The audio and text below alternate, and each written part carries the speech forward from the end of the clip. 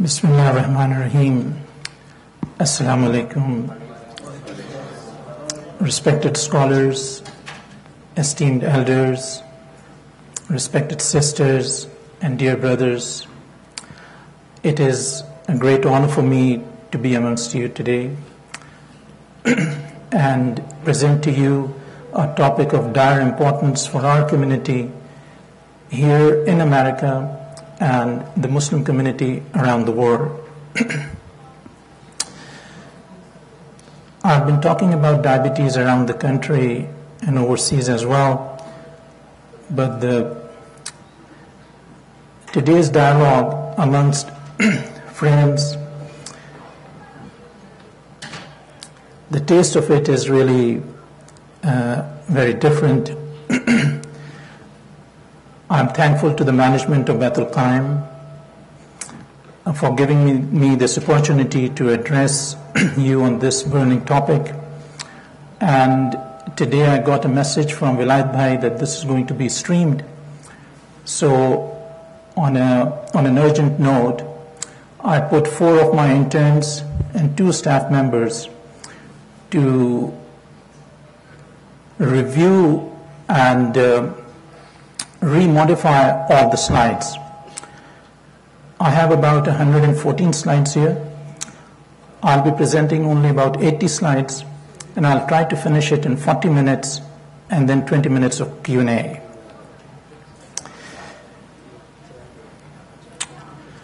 Ramadan fasting and diabetes. First of all, we'll review what diabetes is, then we'll go over Ramadan, and then we'll connect Ramadan fasting and diabetes. At the end, there's also a review of fasting that happens in other religions such as Hinduism, Buddhism, uh, Judaism, and Christianity. But for the sake of time, I'm not going to be going into that detail. In America, there are about 30 million people who are either Uh, who have diabetes, and 7 million of these individuals don't even know they have diabetes. One in every three individuals do have diabetes. I can bet that all in our audience would know of a, a first degree relative who has diabetes, or would know a friend, a colleague, a co worker, a student who does have diabetes.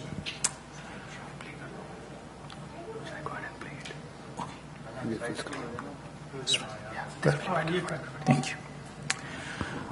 We are diagnosing 1 million new cases per year, which means that every 23 seconds, one person in the world is getting diagnosed with diabetes. There are over 2,000 cases diagnosed each day. At this time, the current world population by UN statistics is 6.8 billion.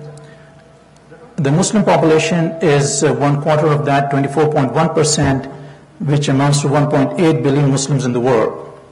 By 2040, per WHO statistics, we will have 642 million people worldwide with diabetes, of which 148 million are Muslims. And of those 148 million Muslims, 50 million do fast on an annual basis. Just a quick overview of uh, diabetes. uh, previously, it was thought that diabetes uh, occurs due to one or two basic fundamental pathophysiologic defects, but that's not really the case. Uh, we have found out that there are eight basic fundamental pathophysiologic defects in the human body that leads to diabetes. So, for instance, at the level of the pancreas, which is the largest gland in the human body, there are seven glands in the human body. The largest is pancreas.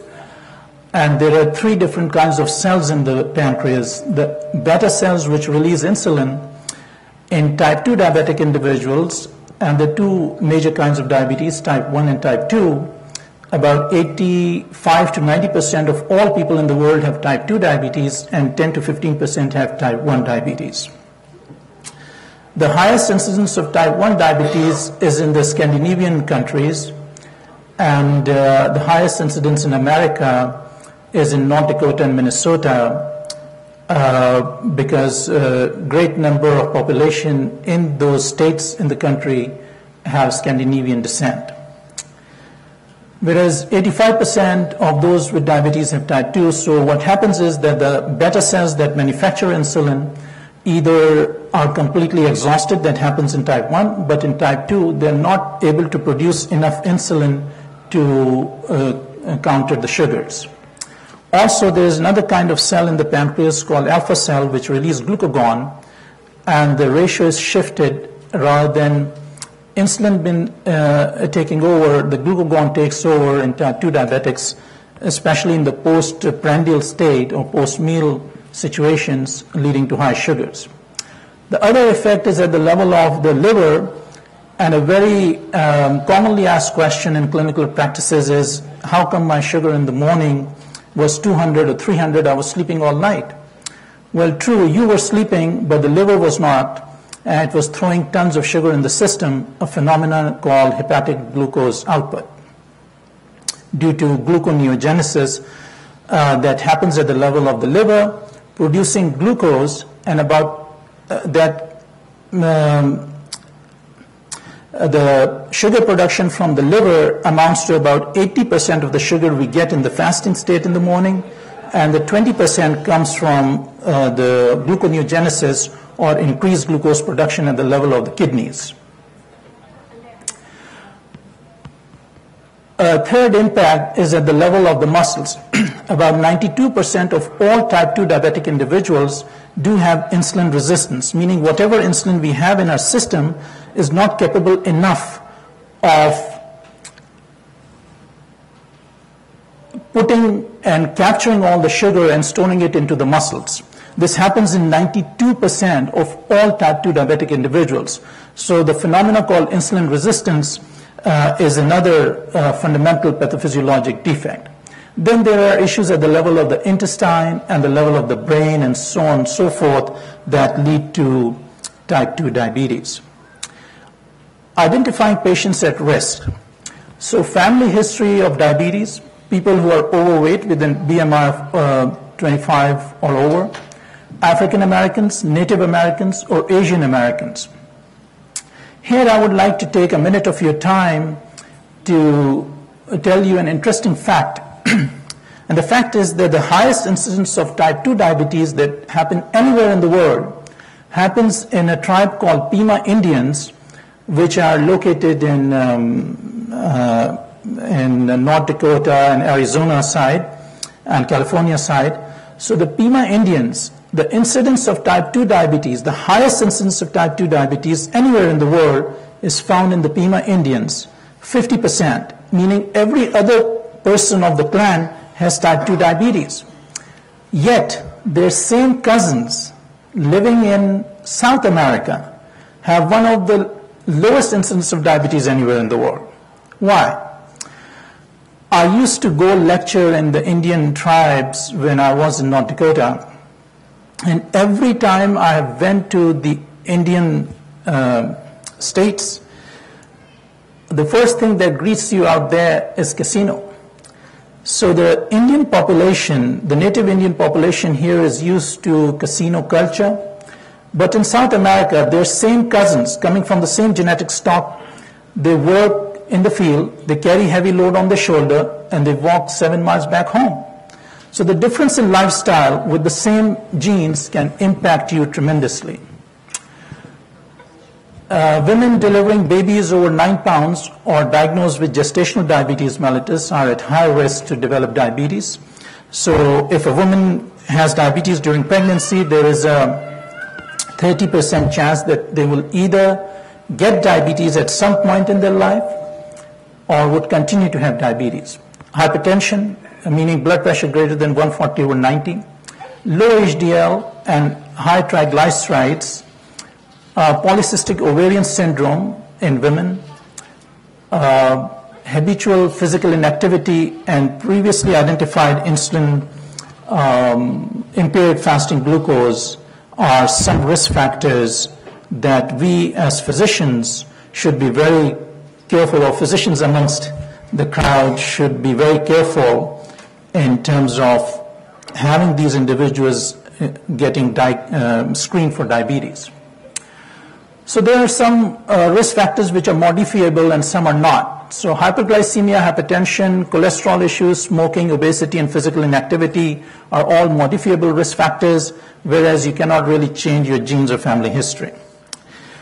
Uh, the uh, glucose targets uh, are to keep the pre-meal sugars 110 or less. Um, and uh, the two-hour post-meal sugars up to 140 is uh, generally acceptable. If the sugars start to climb higher than this, then the risk of long-term complications of diabetes is very high. At the moment, uh, the budget to deal with diabetes in the country is in the vicinity, uh, from diabetes, is in the vicinity of about $150 billion and half of that comes from the indirect cost uh, that uh, happens due to loss of work hours, amputations, uh, patients spending time on dialysis machines, and so on and so forth. There's a slight difference in the criteria. This is more for physician attention. The American Diabetes Association target of hemoglobin A1C, which is a gauge through which we measure the sugar control in the body, is less than 7. But the American Association of Clinical Endocrinologists and the International Diabetes Federation uh, recommend a hemoglobin A1C of 6.5 or less. Uh, we want diabetics to have blood pressure less than 130 over 80, LDL cholesterol of less than 100, close to 70 or 80 would be ideal, and an A1C of 6.5 or less. Uh, this uh, uh, diagram shows the incidence of long-term microvascular complications. So there are two kinds of vessels in the body, the microvasculature and the macro. As the A1C goes beyond 6.5, the chances of retinopathy increases, which is eye damage. And as it goes beyond 7, the chances of kidney damage. And as it goes beyond 7.5, chances of nerve damage increases. Diabetes stands as number one reason for amputation in the country. Last year we had about 93,000 people whose legs were chopped off due to diabetes. This is eye damage, this showing proliferative retinopathy. Uh, in one of the most outstanding trials in the history of diabetology conducted anywhere in the world called DCCT, Diabetes Control and Complication Trials, when we treated these individuals aggressively, you could be nice to your patients, but you should be very aggressive on diabetes. And if you are aggressive on diabetes, you can prevent the long-term complications of diabetes about 86% of the time. And that trial that was conducted in 35 of the most reputable centers in the country, including the Mayo Clinic, with whom I had the collaboration with, we were able to reduce the proliferative retinopathy by almost 86%. These are some diagrams showing what happens to the cardiac vasculature when diabetes is uncontrolled, leading to atherosclerosis formation and so on. So, coming to those trials, um, in the DCCT, DCCT was conducted from 1985 through 1995, uh, showing that if we manage diabetes aggressively, we can reduce the long-term complications drastically. A similar study was conducted in Japan, enrolling 200 patients, and a third one in UK that enrolled almost 5,000 type 2 diabetic individuals, coming out with the same message around the world, that you need to treat diabetes quite aggressively. This diagram is showing that 50% of diabetics in the country, in US, and US claims to have the best healthcare system and the best everything, but 50% of patients in America are undertreated and not appropriately treated in terms of their diabetes management or cholesterol or blood pressure management. Now, I tell my interns, and four or five of them actually work today to remodify some of these slides. I want it to be a little more complete, uh, thanks to the courtesy of Vilayat Bhai, because it's getting live streamed. So, uh,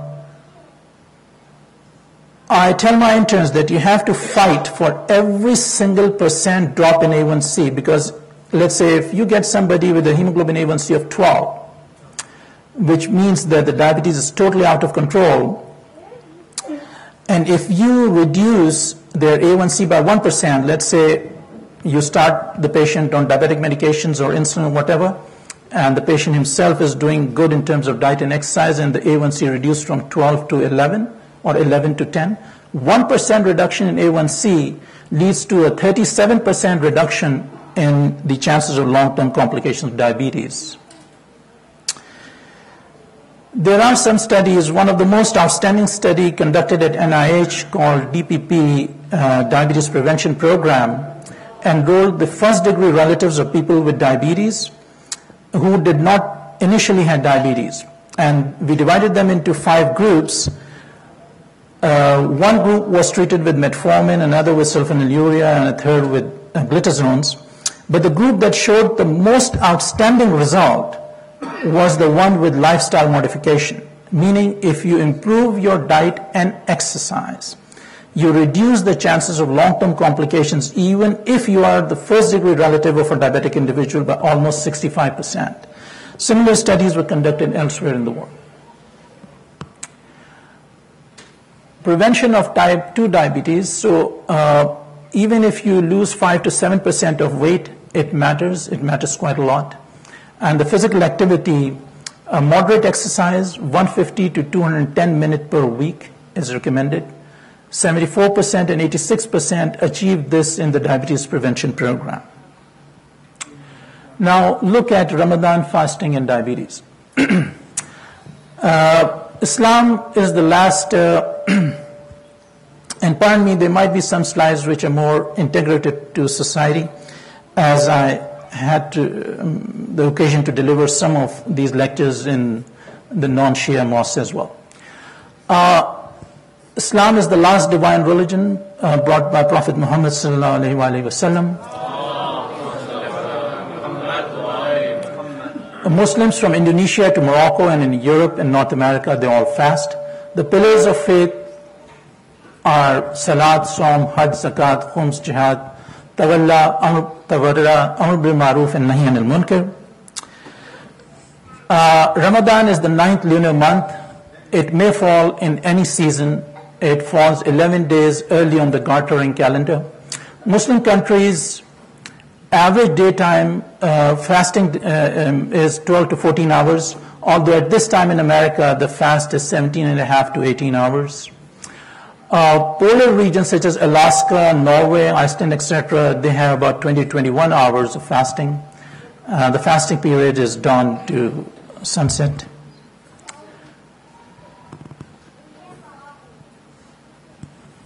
Fasting is obligatory on all healthy Muslims, adults, uh, men and women. During the period of fasting, one should abstain from all foods, fluids, tobacco, and oral inhalers and nutrients, sexual intercourse also from dawn to dusk. Quran and the Islamic theological perspectives. Uh, these three ayats are from Surah Baqarah, chapter 2. O you who believe, fasting has been prescribed to you so the choice of word is so immaculate, prescribed. Prescribed means it's a prescription. Fasting is a prescription sent from God to you as it was prescribed to those before you as that you attain taqwa. Uh, this is ayat number 183 of Surah Baqarah. يا أيها الذين آمنوا كتب عليكم الصيام كما كتب عليكم الذين من قبلكم لعلكم تتقون uh, another ayat, if you fast, it is better for you if you only knew. And the third one, God intends every facility for you. He does not want to put you into difficulties. These are three continuous ayat. Those not required to fast, acutely ill, pregnant, menstruating, lactating, frail and elderly, insane, travelers, and these individuals are either not required to fast or fast for missed days later after these conditions are, are resolved.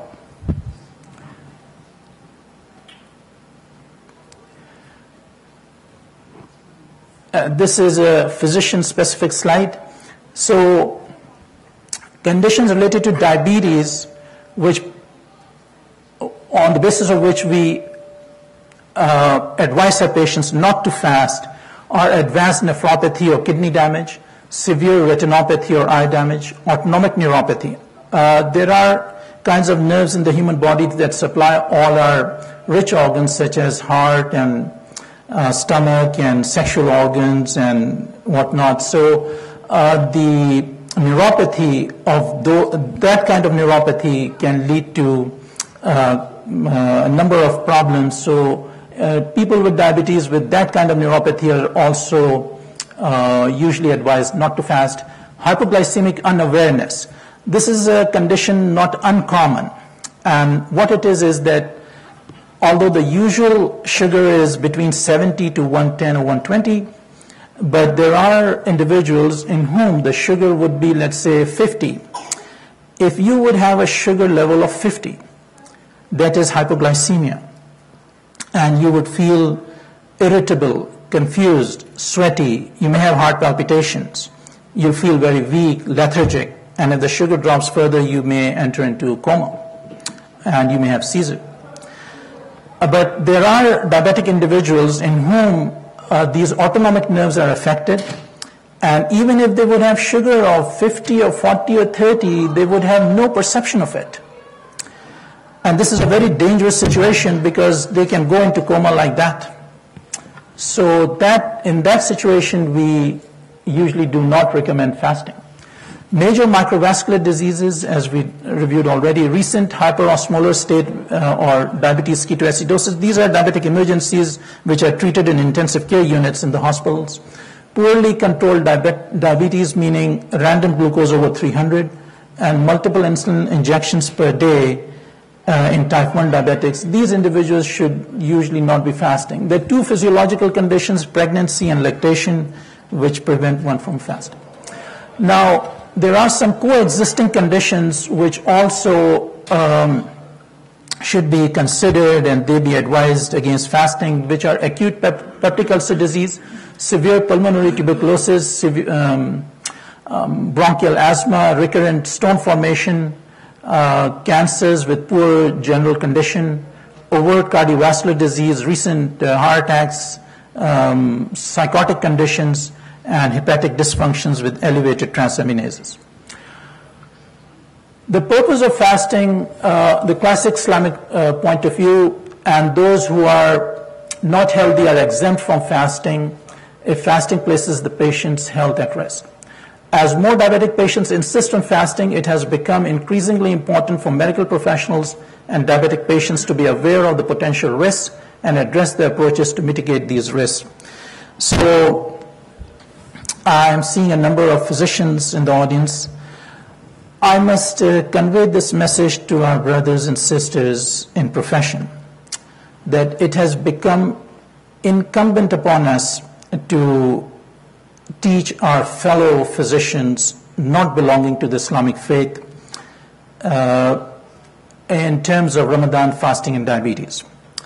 One reason that I'm actually uh, conducting these lectures in multiple centers this year is number one, the uh, gravity of the situation is enormous, but on the other, our brethren in profession do not really know how to deal with Muslim patients come Ramadan.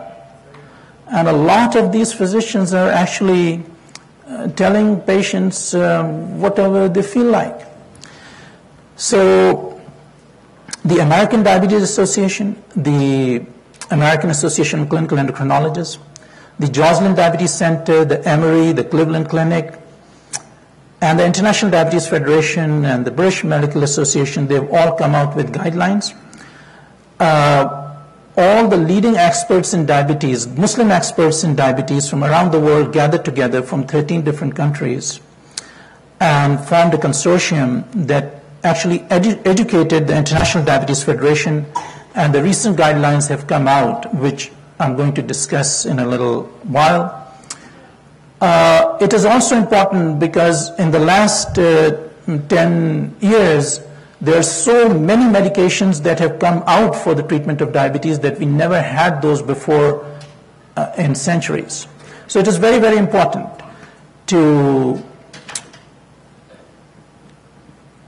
know in greater depth, and our Muslim patients should be encouraged when they go to their physicians who are not from the community to be asking appropriate questions.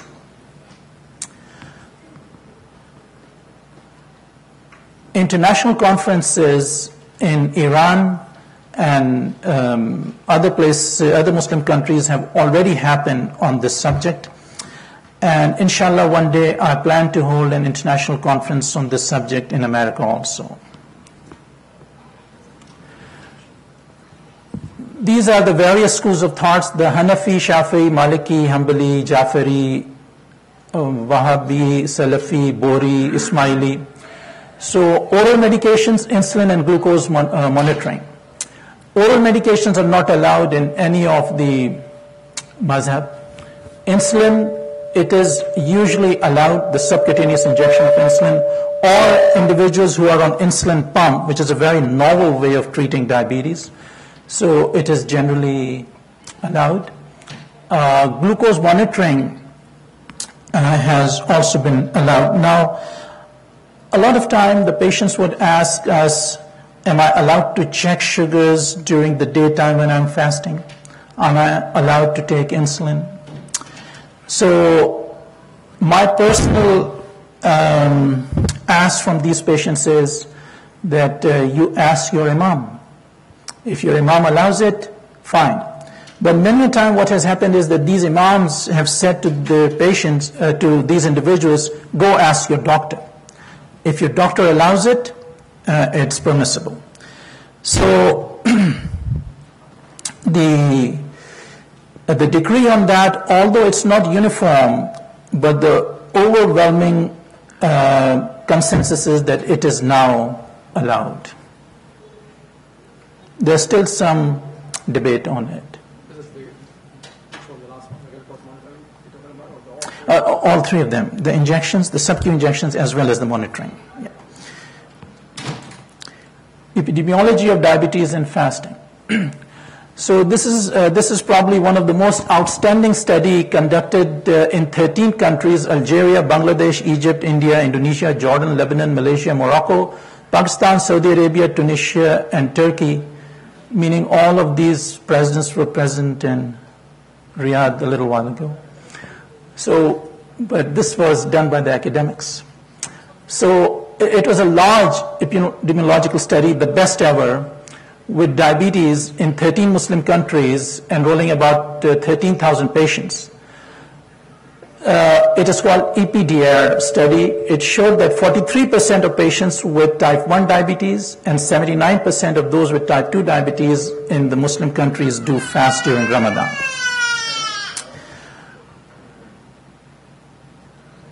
Now, what happens in the body from the fed state to the fasting state?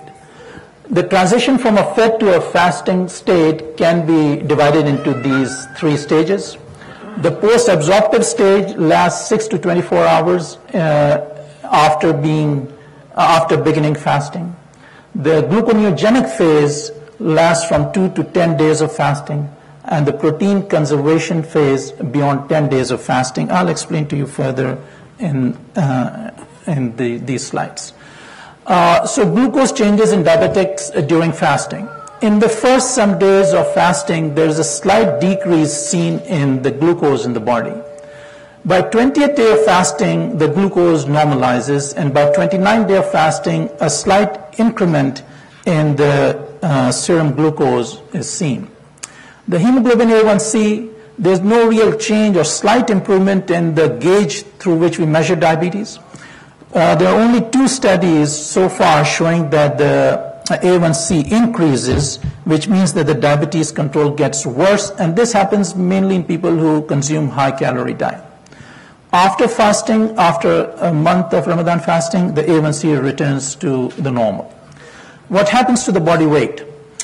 Uh, 50% of the individuals maintain body weight, uh, 20 to 25% lose weight, and 25% gain weight. It all depends as to what you are really eating.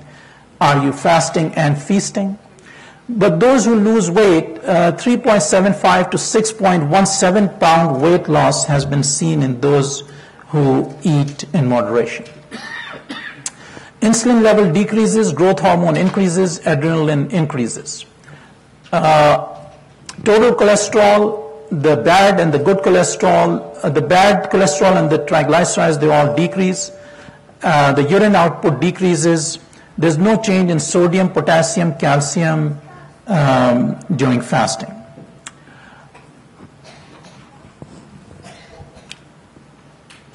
Now, risk stratification, and this is probably the most important aspect of this presentation. Many patients with diabetes insist on fasting during Ramadan, thereby creating a medical challenge for themselves and their healthcare providers.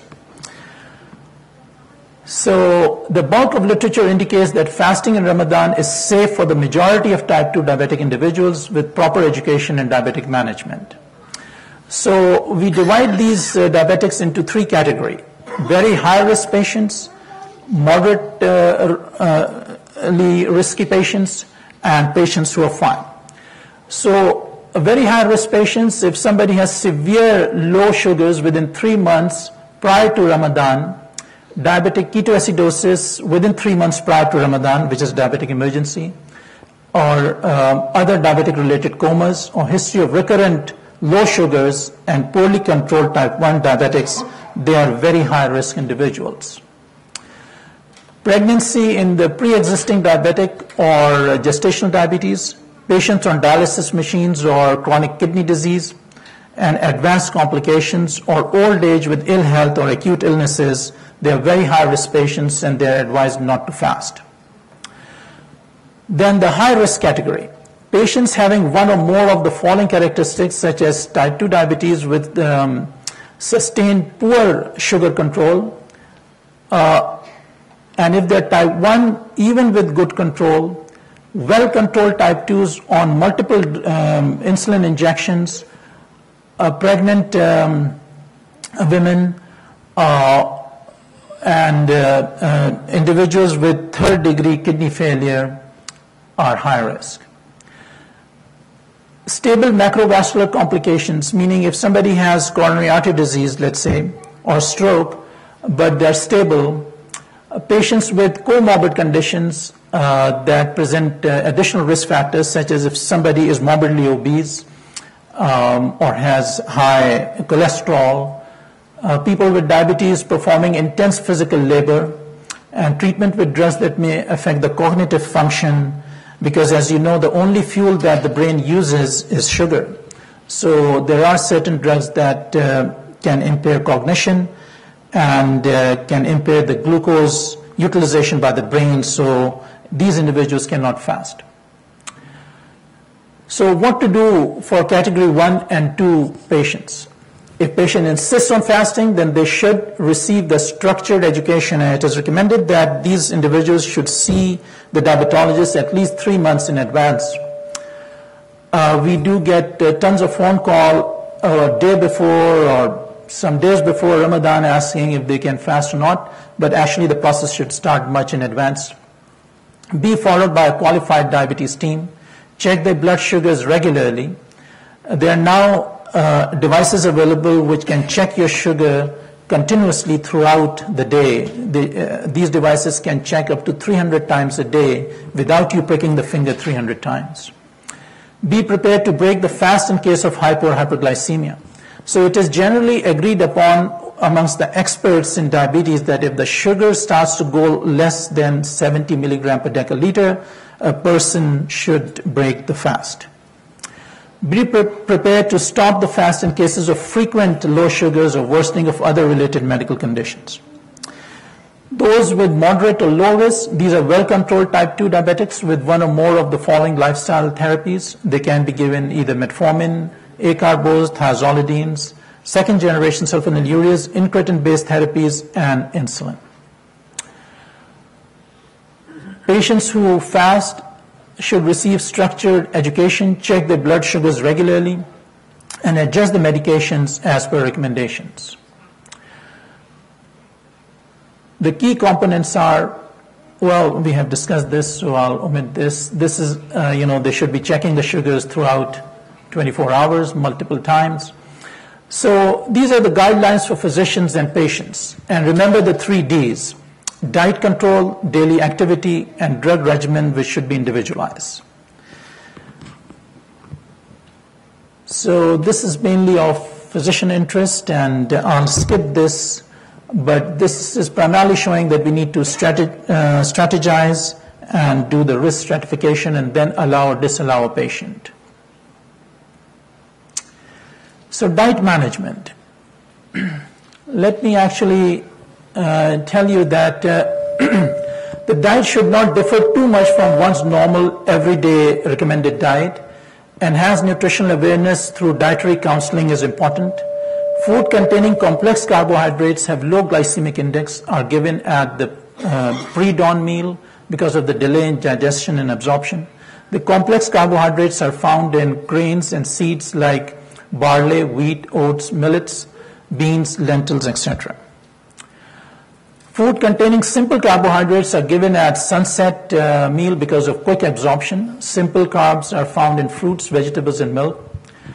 Discourage the patients from eating high glycemic index foods like more than three dates because the glycemic index of one date is 42, which is a moderate. So if you eat two uh, dates, uh, the calorie count could go up to, depending upon what kind of date you're eating, between 3 to 800 until about half an hour after taking drugs to minimize the sharp rise in glucose.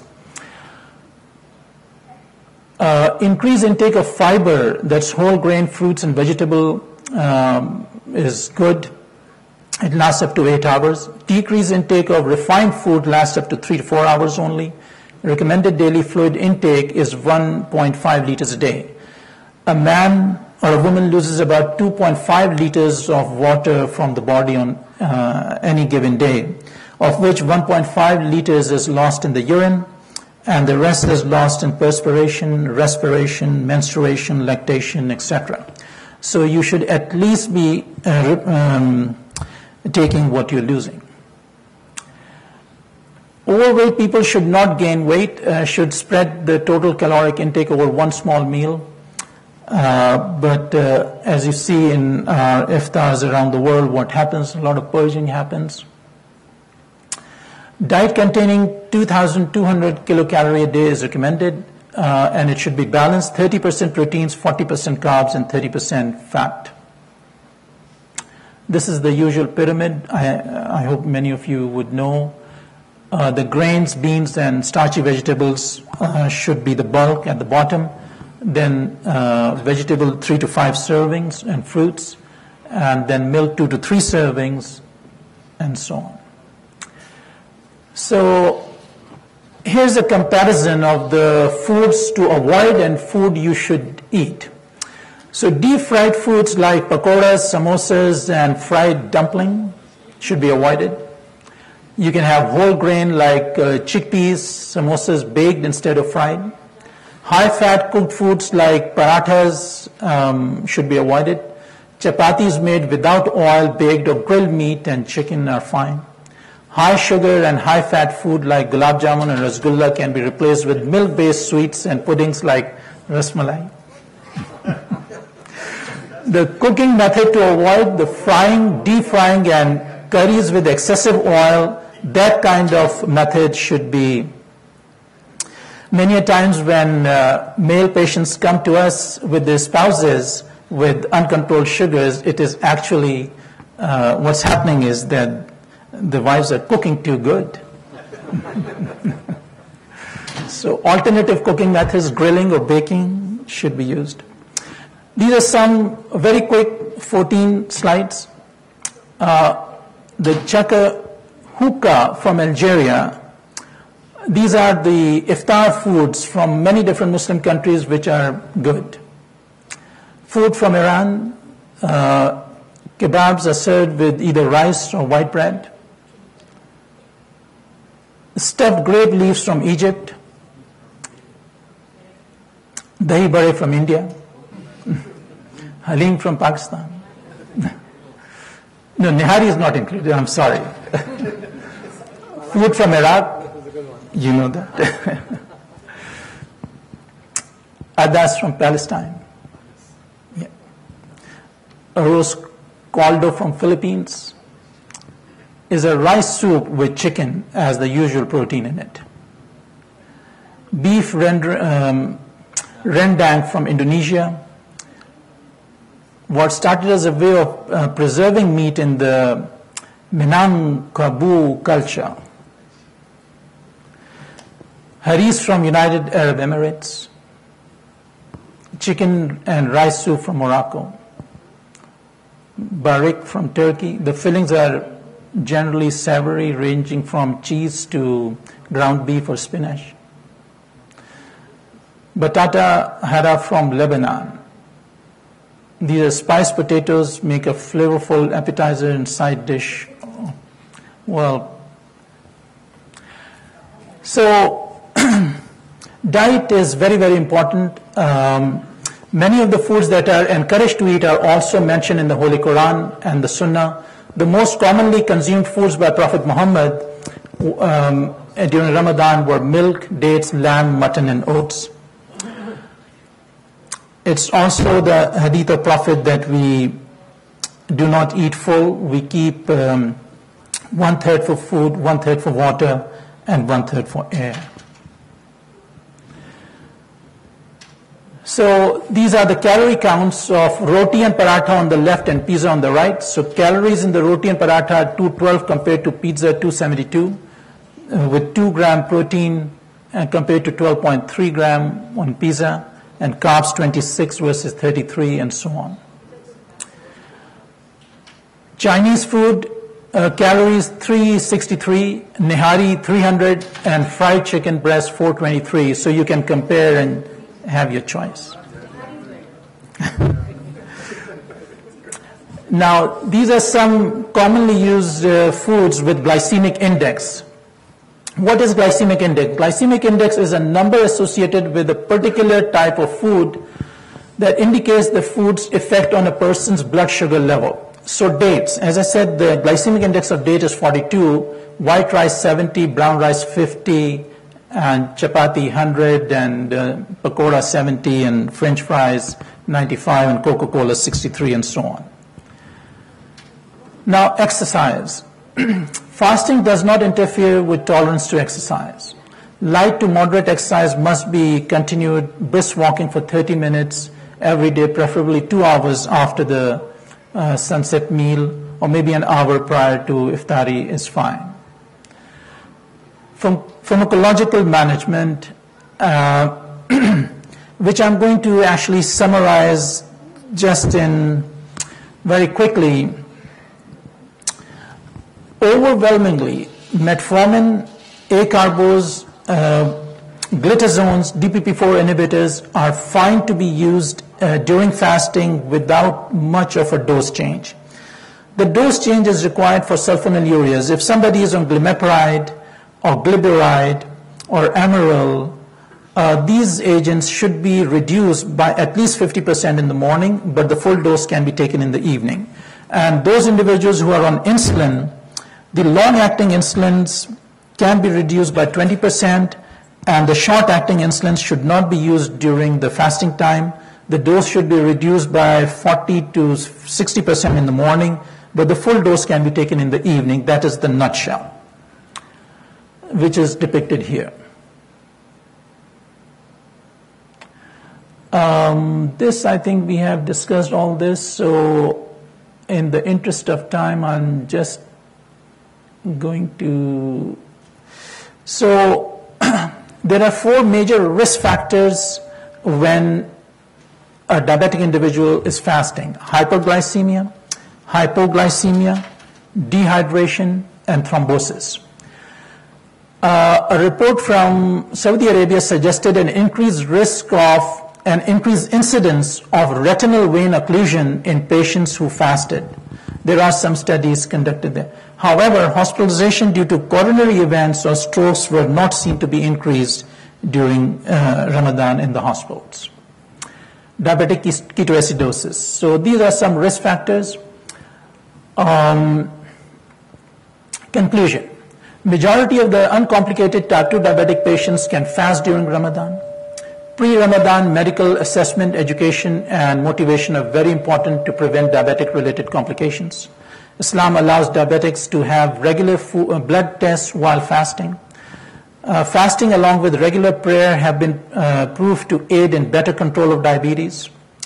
Because what happens uh, uh, with prayers, and there are studies conducted in multiple universities in the West and the East um, of the medical benefit of prayers. One very outstanding study done at McGill's shows that when a person fasts, uh, a person prays, um, all the relaxing hormones come into existence and the stressful hormones are suppressed, which is very beneficial. It's anti-aging. It improves the synaptic connections, improves the focus, improves the longevity, improves the vasculature, improves the sugars, improves the heart, improves the vessels, and so on.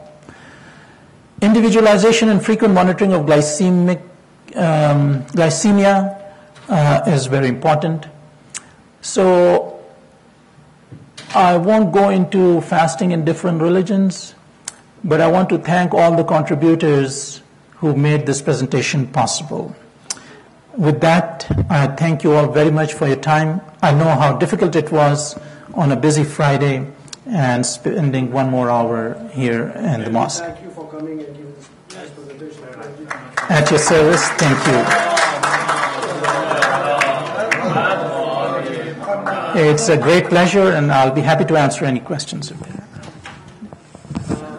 Uh, just a question about the retinas. Is that when you get the eye?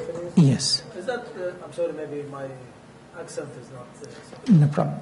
Uh, I mean, when you get damage for the is that can be uh, fixed or it should be implanted? Or? So uh, the question is if the retina gets damaged, could it be fixed?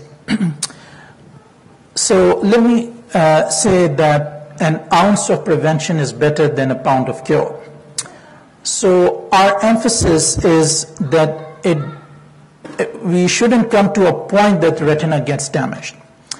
And how can we prevent the damage? If we control the sugars real well, if we control the blood pressure real well, and if we control the cholesterol real well, by diet, exercise, and therapeutic intervention, the retina can stay healthy forever. However, when that doesn't happen and the retinas are damaged, then there are therapies available, uh, especially laser therapies are available to improve that damage. Uh, it can be improved to a good extent, but cannot be totally reversed. Good question. Walaikum assalam. Um, You mentioned a lot about increased, um, actually what I would say compromised liver function. You mentioned increased hepatic glucose production. Is fatty liver symptomatic of diabetes or can it be exacerbated by diabetes? Yeah, it's a very good question. Actually, fatty liver is not exacerbated by mm, by fasting. Uh, what is fatty liver? Fatty liver is the abnormal accumulation of fat in the liver, and uh, when that fat starts getting accumulated in the liver, it can lead to a lot of problem. If it becomes chronic and advancing, it can lead to cirrhosis of the liver. It can damage the liver drastically. But a lot of fatty liver uh, is not that serious and it is usually mild. So the way to prevent that is to, you know, to avoid all the greasy, cheesy, yummy stuff. The Pizza Hut, Burger King, McDonald's, Kentucky Fried, Boston Chicken, Wendy's, Papa John's, Brothers, we need to avoid all that. And the equivalents are the shirmal and the taftan and parathas and so on. So if we control our diet well, then that abnormal accumulation can be prevented to some extent. So fasting actually is beneficial. Diabetes, what happens in diabetes? The commonest lipid abnormality in diabetes is hypertriglyceridemia and low HDL. High triglycerides, all these things that I mentioned, Pizza Hut, Burger King, and parathas, they are high in triglycerides. And these triglycerides get accumulated in the liver, leading to damage. So excess sugar in the system also gets converted into triglycerides then get deposited there. So again, prevention of all this is in our hand to a good extent by diet and exercise.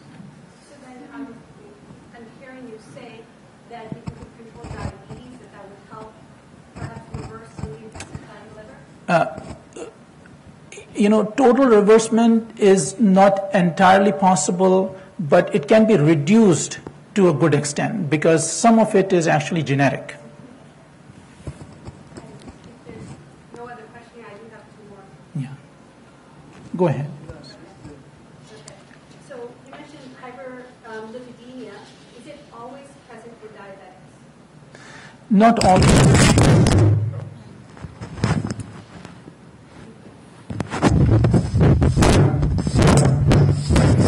It's not always um, uh, present in diabetes, but it, it is present to a fairly good extent, especially if diabetes is uncontrolled. The excess sugar gets converted into triglycerides, and um, it is the commonest lipid abnormality. It's the commonest uh, cholesterol abnormality that happens in people with diabetes. So the recommendation is to keep the triglycerides 150 or less in people with diabetes. But when it starts to increase and go over 250 or 300, then um, the chances of accumulation in the liver are quite high. Uh, the highest triglyceride that I have seen ever in the last 30 years was in a casino cook, 55 year old casino cook, coming in with triglyceride level of 80,000 with all heart arteries blocked completely and liver was full of cholesterol. So the cardiothoracic surgeon actually called me and said he came in with heart attack and wanted to operate, do the uh, open heart surgery, and said, uh, you know, what can we do? Because if you would open this kind of a patient up, he cannot locate the arteries, everything will be milk. The entire blood would be milky and he won't be able to locate the heart arteries. So what can we do? So um, I said, if you give me five days, you can go ahead and operate. And these individuals, the, the treatment of choice for these individuals is to put them in uh, intensive care units and start them on insulin. Insulin has the capability and capacity to take away all, all the food from the body and uh, metabolize it. So within five days, his triglycerides got reduced from 80,000 down to 500, and he got operated upon successfully. Um, but uh, um, we should be very, very careful. Triglycerides over um, 150 in diabetics is not acceptable. Another question. There's a lot of literature out there, a lot of news on the media about reversal of diabetes through plant-based diets, or what a lot of people refer to as vegan diets. What is your comment on that? So uh, we need prospective, double-blinded, placebo-controlled clinical trials uh, to prove that. We cannot um, arrive at a decision based on meta-analysis. Uh, and those studies are still not available.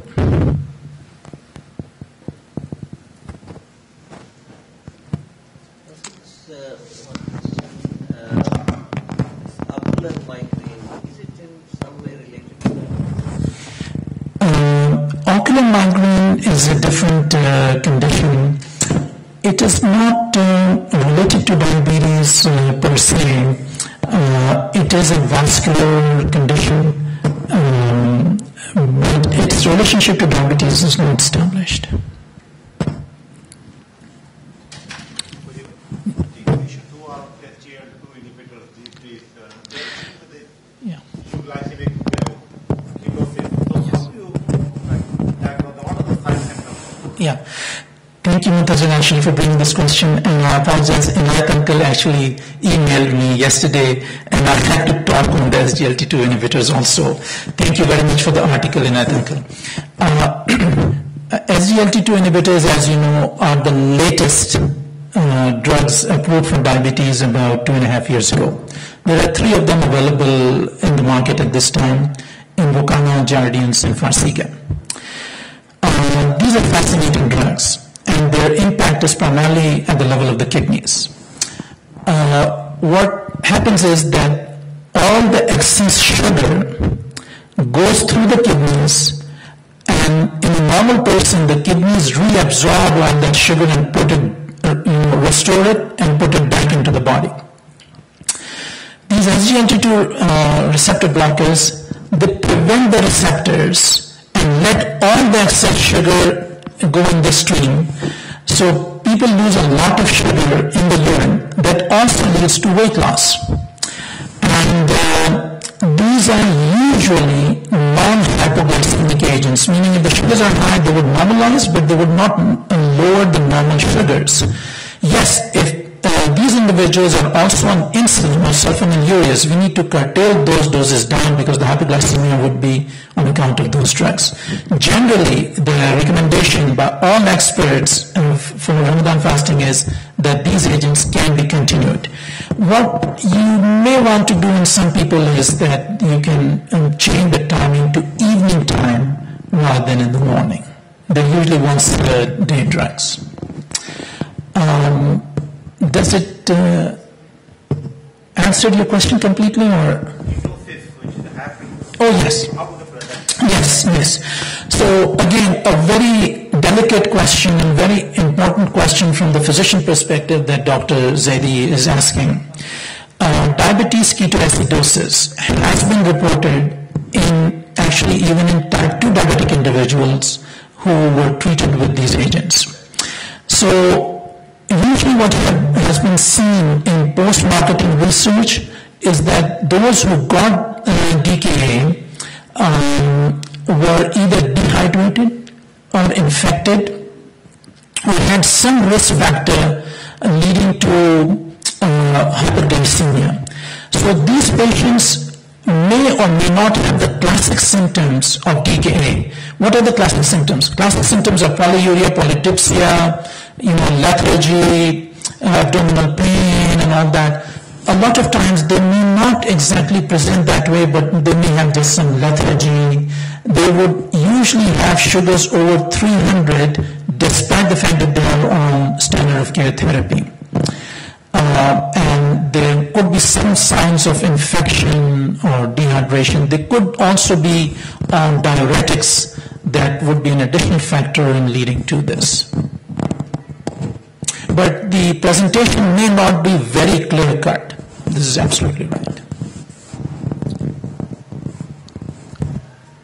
Yes.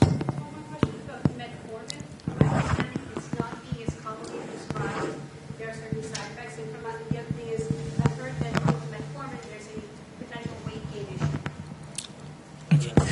So, um, sister, uh, I I have to um, actually differ uh, uh, quite a bit on this. Metformin is the most used anti-diabetic medication anywhere in the world. And it is dirt cheap and it is very effective.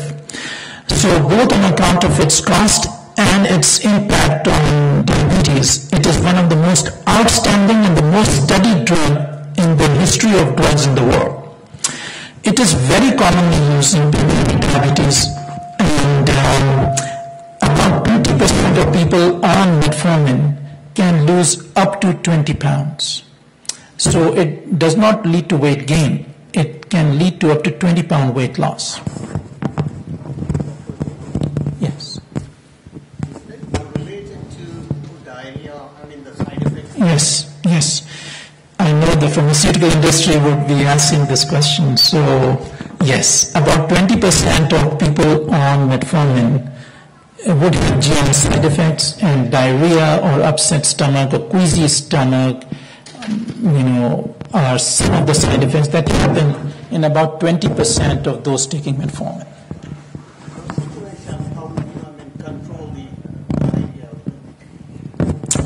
Uh, usually it's short lived. Uh, it would go away within weeks.